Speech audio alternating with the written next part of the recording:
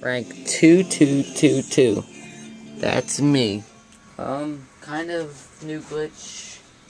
Uh, I've been trying to RPG, but I've been failing, and I don't think you can RPG up there.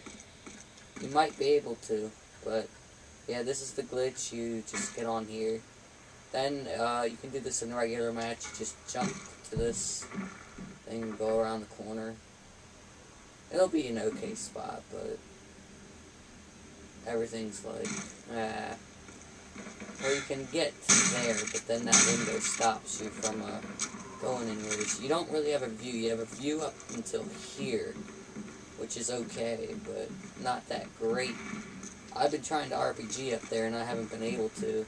So, yeah, I'll try an RPG. It might be impossible, but not sure.